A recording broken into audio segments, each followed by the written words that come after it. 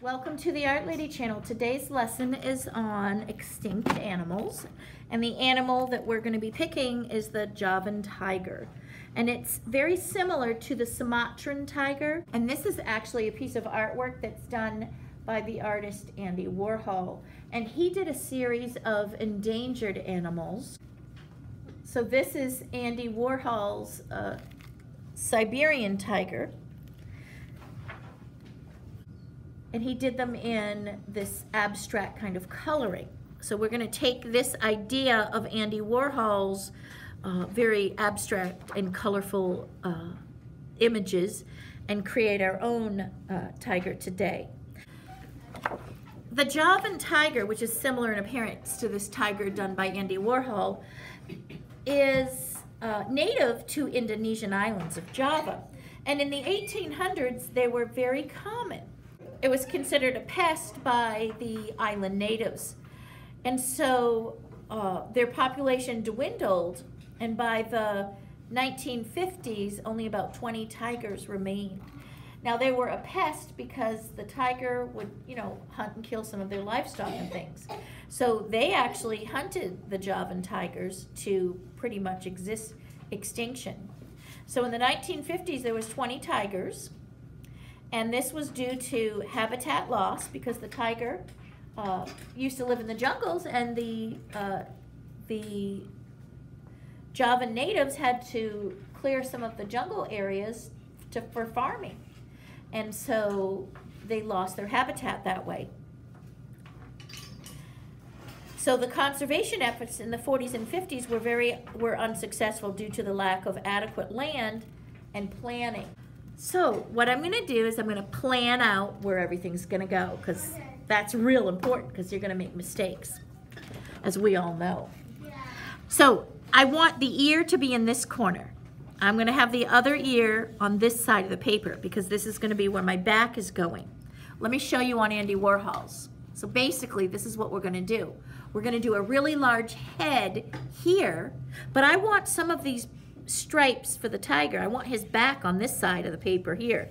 So we can add the rest of his body and put some stripe here. So we want the ear to be in this corner, we want this ear, and look where his nose is gonna be. So if this is our halfway point, that's pretty much where the eye lines are. So then we're gonna drop down. So we're gonna plan out this. So let's imagine this. If I took this section, and I'm gonna jump down two fingers, and I'm just going to put a small line as a guideline. In this corner area here, I want my ear. So I'm going to bring this line down slightly for the top of his head, and this is where I want the space to be for the ear. So I'm going to come up, so imagine my finger as the center of his ear. So if I line up my knuckle, look at this. This will give you the right size. In this space, this is the ear. So I'm going to put my finger, put a line where I want my, my ear to end. So my knuckle's lined up here. There's my knuckle I just drew on it. You can see how it's lining up with my line I already have in existence. So now I'm just going to curve this down, curve this down. So I have a kind of a slightly curved ear, and I'll continue the head this way. If you make a mistake, because the kids that I'm with today, we're just using pencil, so just leave the mistake and you can erase later. That'll save you time. Now I'm going to curve this around a little bit more, and I want my second ear to come in here. I'm going to put a diagonal line. I want to do the same thing. If you have to move your body a little bit, I'm moving my chair so I can angle my finger this way. Line up the knuckle because you want it to be the same. Mark the end of the knuckle. And I'm going to round this ear down and down just to connect it. I'm going to put a little line in the middle here. Let's add the inside of the ear while we're working on ears. So I'm just going to put a little bit of up and back and a little bit of color on the inside here. We're going to end up going over this with watercolors or tempera paint, and then using oil pastels. See how Andy Warhol added a very painterly effect with some oil pastels? So don't worry if you have a little mistake off. None of this is going to show in the end. Now let's get some placement down. I'm going to come down and if I focus on the ears, I'm going to just drop down diagonal on both sides and we're going to get the eyes in. So I'm going to just put a line where I think I want the eye and a line on this side. So come from where your ears are, drop down diagonal, diagonal. And that'll line up the eyes pretty good. I'm going to do just a circle here and a circle here. This circle is about the size of a dime. Let's look at comparing to our fingertip. If you take your index finger, look at that. It's pretty much the size of your index finger as well. Okay? In the middle, I'm just going to put a little, you know, a darker pupil, color in that pupil. Now I'm going to do some detail in this eye. I'm just going to curve down, curve down on this side. And I'm just going to leave this, eh, I'm not going to curve way down on this side, I'm kind of just diagonally off to the side. And this one's just diagonally off. And I'm just going to connect these in a little bit. Just connect and connect. I'm going to drop, find the center now. I'm going to drop down at least, if you take the palm of your hand, see how it's all lined up to the eyeballs. I'm going to measure down here. Just put a line. That's the width of your hand. Just put a little line. Put it in the middle. So if it's not in the middle, just extend it so it is centered. You want it centered between the eyes. I'm going to put a number one. And I'm going to draw a U around the number one.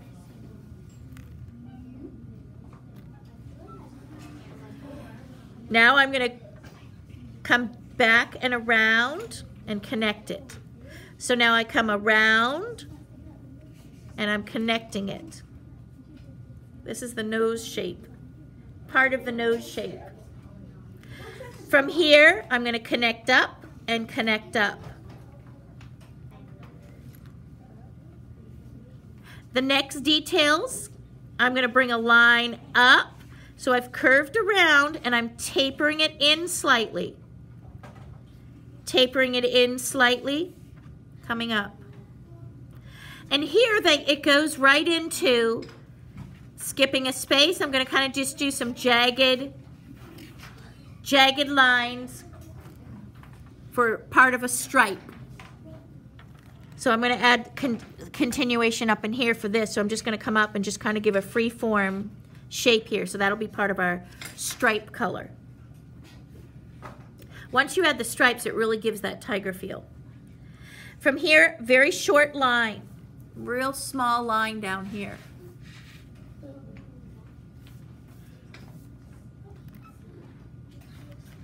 It's just very small. Now I'm going to come from that line, swoop down, swoop down. You want to line it up. I'm lining it up to the eyes, see? Come down, so this one needs to be a little bit longer. The pupil drop down. The pupil drop down. This area is the area, we could do a few little designs for where the whiskers, the padding around his mouth and then his whiskers come out here. So for whiskers, I'm gonna just do about five lines and we'll end up redoing these with oil pastel in the very end, but it's just so you know where they're going. They're just coming in here. And when I do whiskers, I do kind of a, I fling it up, down, and just a few little ones in the middle. Put a little one down there. So about five, don't overdo. Uh, we will do an odd number of whiskers. Now we're gonna do the chin, and it's gonna come up. If you notice here, it's a little bit, it's about a finger and a half from the bottom here. So I'm just gonna put a little chin in and kind of just do a little bit of kind of line here coming up. Just kind of a wiggly line because it's fur and draw it up. Now this is just fur texture coming out in here. It's not drawn with a straight line. So we could do it kind of just a jagged, just a jagged line coming down to connect. And then some more of the fur texture in here. If we do just lines coming out, this kind of just shows some fur texture.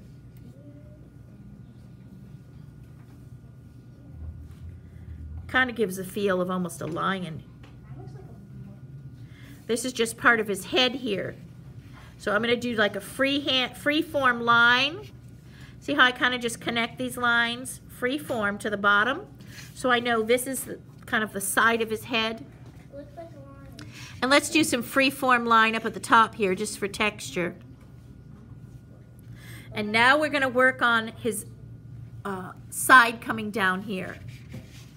This is the part that, so I'm sliding this over so you can see it a little bit better. His back area. So I'm coming from the middle of this ear and I'm just going to go slant downward.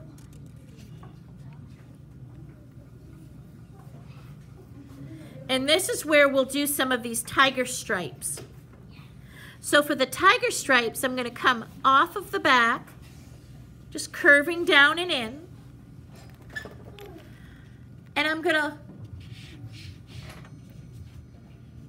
I'm gonna come back with a kind of a point and curving. So it tapers from wide to thin. And I'm gonna do a shorter one here, so curve it off the back, shorter. And you can do it like free form. It's kind of prettier if it's a fr more free form shape. Now we're gonna do some tiger stripes up in here. So I'm gonna come from the right next to the eye, kind of a free form line. It's not a straight line. And then I'm coming back, keep it pointy at the end. See how I free form the shape and bring it to a point. You can put some stripes down around his eye too. Come in, curve line, this is what's going to give it that characteristic tiger feel. And then you can even break up. Sometimes the, the tiger stripes will be like, see this shape here? It kind of has this curving line here, but then tapers to nothing. And if you do one on one side, it's kind of nice to do the same or similar on the other. So I'm going to mimic this same shape. It tapers and tapers. See how each edge is pointed? And then I just kind of do the free form.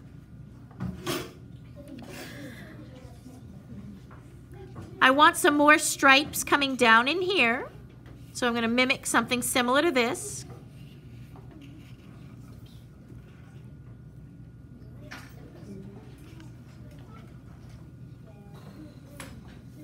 We can turn some of these lines into the stripe See how I just formed the stripe out of that?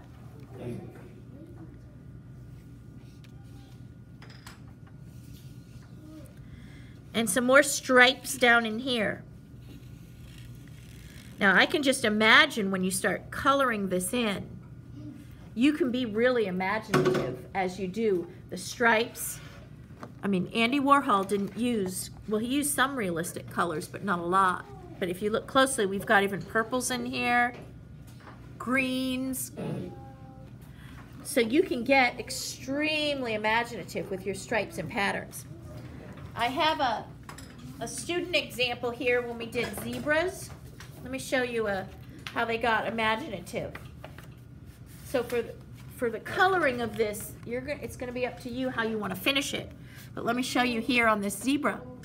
Bring it up real close. Even in the stripes, they added lots of pattern and design. So it's not realistic. So that's something to think about. As an artist, you can even add interesting shapes to your stripes if it, let me slide over here and do this one. I mean, if you want to add swirls on the ends, that's up to you. I'm going to add one more stripe because this is a big negative space here. Maybe two more.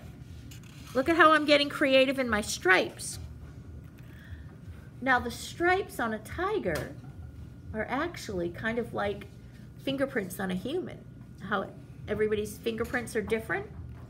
The stripes on a tiger are the identifying factors on the, the tigers.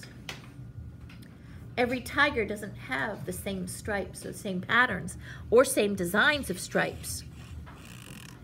So each tiger has these individual pattern. So where you think you need some more pattern, add some more pattern of stripes. So this is what makes my tiger unique. And I'm even blending in some pattern that's on these lines here as well. The nose line, I've added some pattern to. So now we have our sketch of the tiger. And we can add paint to this, and then the last thing we'll do is add um, the oil pastel to bring back some of these lines. Or we can even do this with a fine line paintbrush. We can add fine line to the top to bring out the pattern detail. Now I'm going to show you some of my third graders who drew this today with me and we'll see how they did.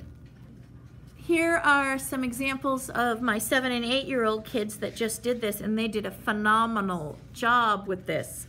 So if we look, and we did manila paper and I had them start out with pencil, but uh, they did great. And this student even added, depending on the size scale, they were a little off on the head, but they had room to add a little bit of tail peeking through here, which was really great.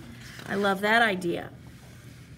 And we've got some creative designs in the face here, but I really am very excited about how they came out and can't wait to see them once we add some tempera paint and oil pastels to them.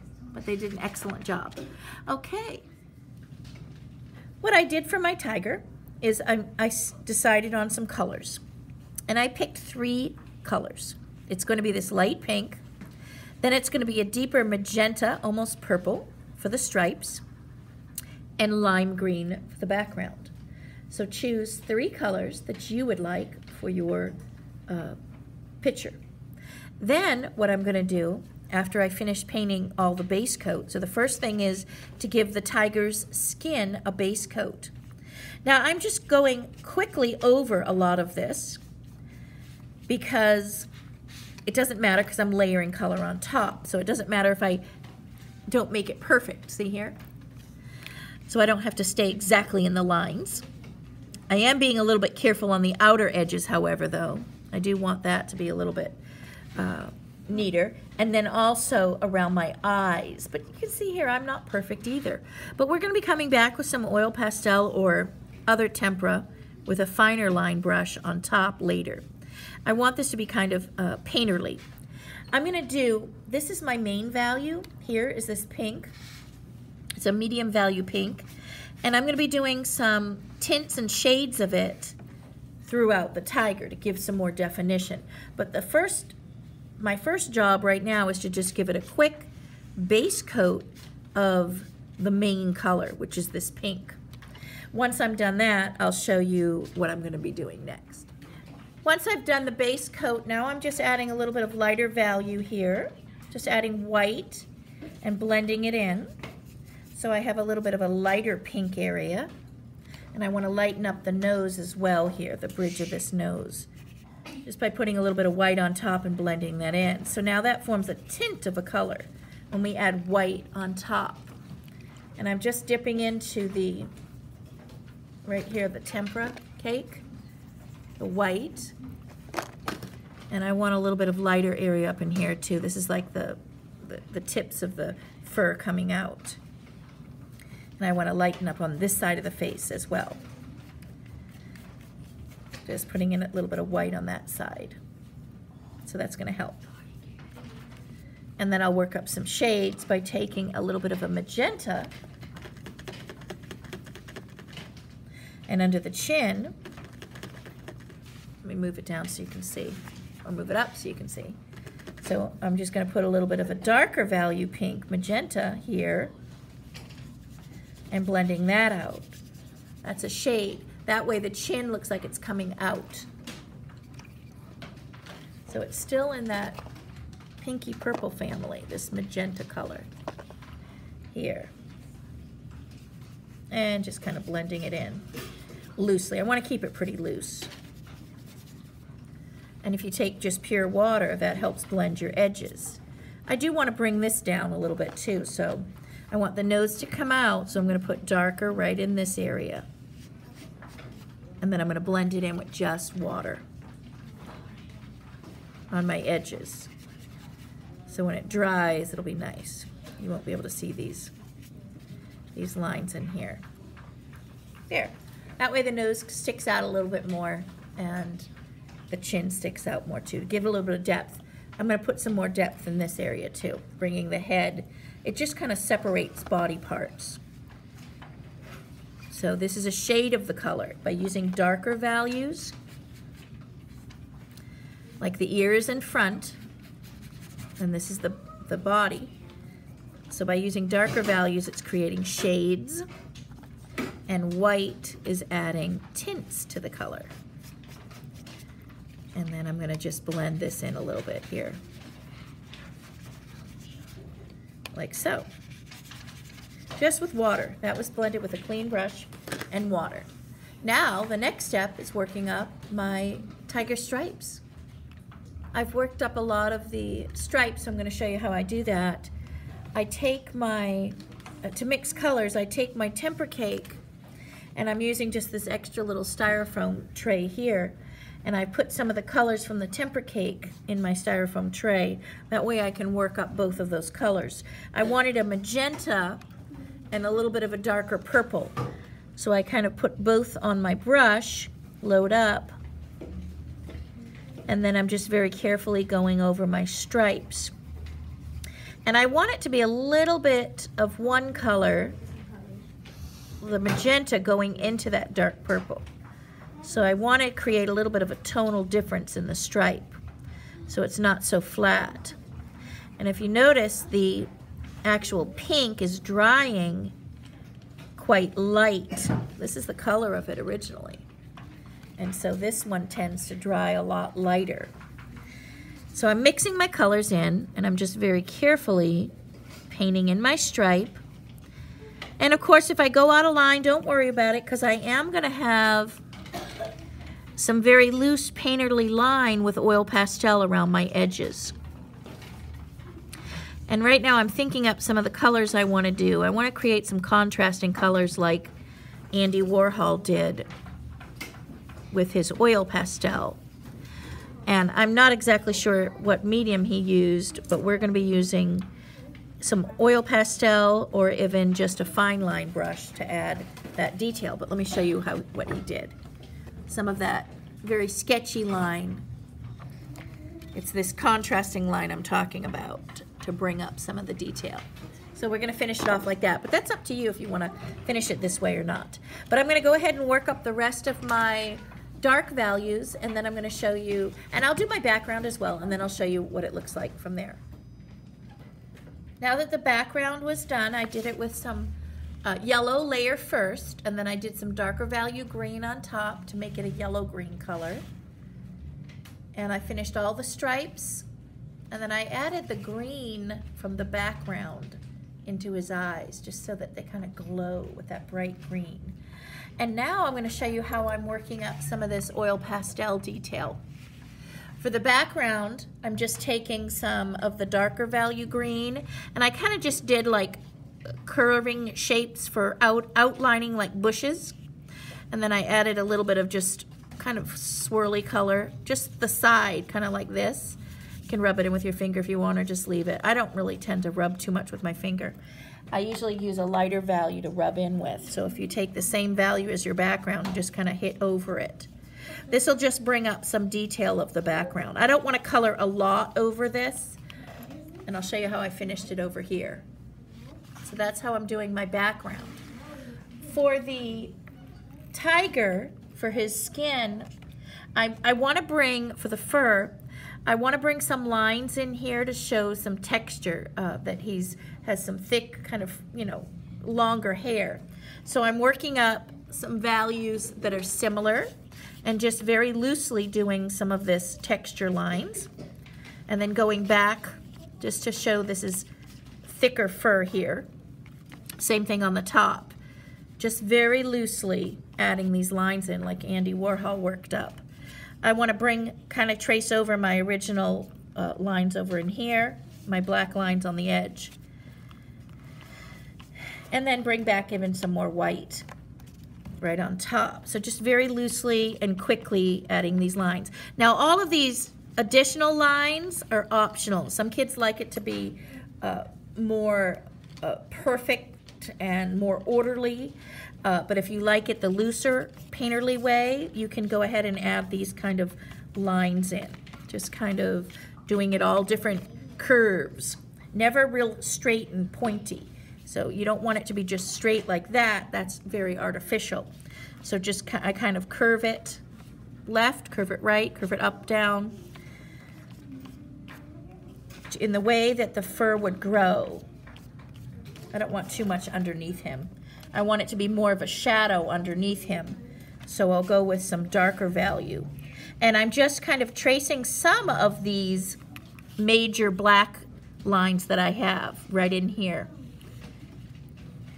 And then I'm going to bring back some of this furry lines, very loose again. And I can even put some more fur lines in on the inside of the ear.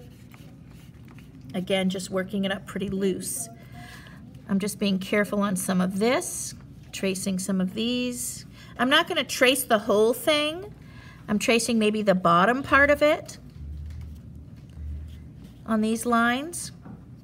I want to bring back texture in here.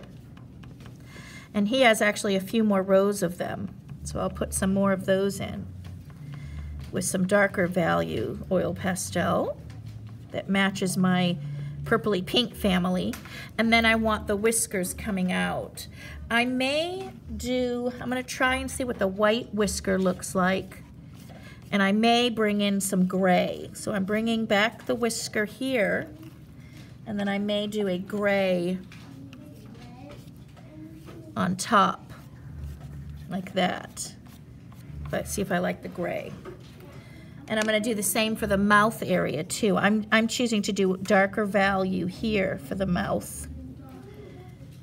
And so that's how I'm going to work up my painterly kind of freeform lines here for fur. Now I don't want the darker value now. I'm just bringing it in here on the edges, very small, because you would see the fur coming out would be lighter, but then at the roots of the fur, it would be a little bit darker. So my darker lines are smaller.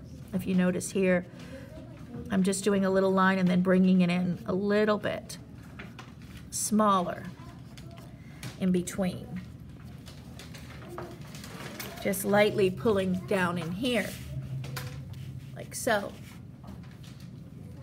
So I'm gonna work this up, just very loose and painterly like this, and I'll show you the final product. And here it is with the oil pastel all worked up. Let me zoom in a little bit so you can see closer. And I like the very loose accents to it actually. And it does help, I'll show you how I did my eyes. It did, does help if your eyes aren't perfectly the same on both sides uh, to, to just blend it together to make it look like it's similar size because I added one side to the very left, I made it a little bit bigger because that was smaller. So it does help with some imperfections. And I love the way it came out. I, I love the two colors together. The purpley magenta and lime greens are some of my favorite color combinations. And so if you choose colors you love, you're gonna be happy with your picture. But I hope you enjoy the lesson. And be sure to subscribe if you haven't already.